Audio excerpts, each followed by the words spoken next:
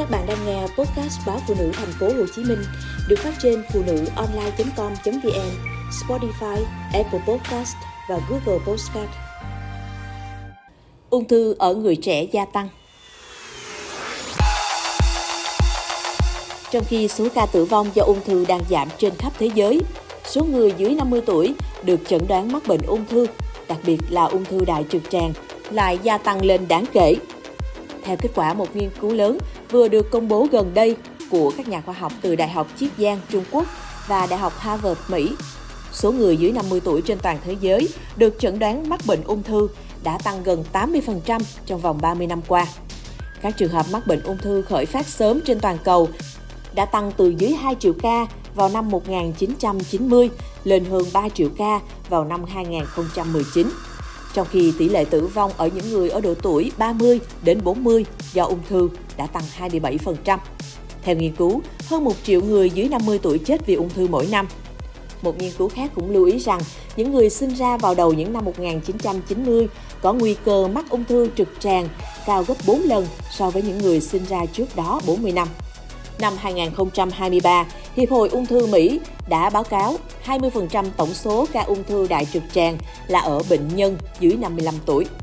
Tỷ lệ chẩn đoán bệnh ung thư đặc biệt này đã tăng gấp đôi kể từ năm 1995.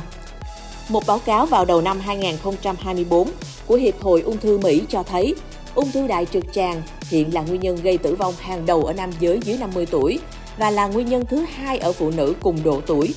Ung thư vú là nguyên nhân hàng đầu gây tử vong ở phụ nữ. 20 năm trước, tử vong do ung thư đại trực tràng đang xếp thứ tư. Theo các nhà khoa học, tỷ lệ mắc nhiều loại bệnh ung thư khác nhau ở những người dưới 50 tuổi ngày càng tăng, không chỉ giới hạn ở Mỹ.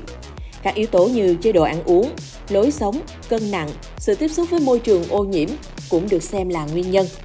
Ngoài ra, một cuộc sống ít vận động và dán mắt vào các thiết bị kỹ thuật số cũng sẽ tạo nguy cơ.